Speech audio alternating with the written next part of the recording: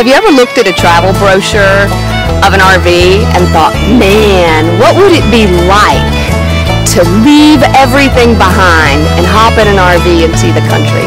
If so, you're in the right place. Follow me on social media, Bumping Down Highways.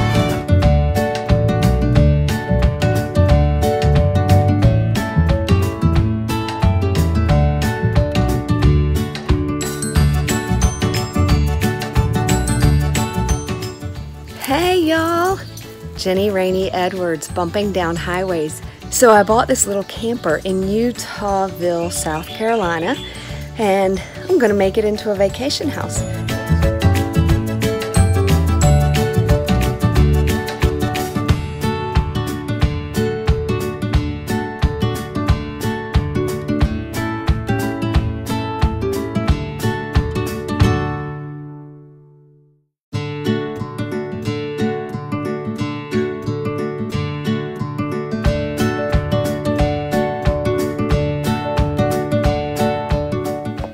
Good morning, y'all. Jenny Edwards here.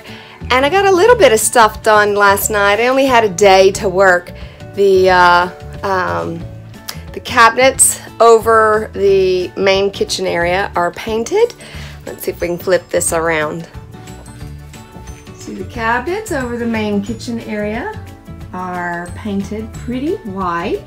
I got part of the backsplash done. I need to take these ugly, nasty blinds down and I'm gonna take those valance things that are gross off and I don't know if I'm gonna put blinds back or if I'm going to put curtains back but I got a lot done last night. Now I've got to head back to Florida and get on the road again tomorrow to Philly.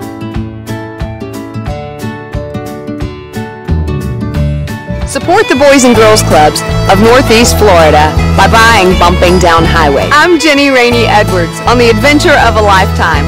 I hope to see you on the road. I'm right where I belong.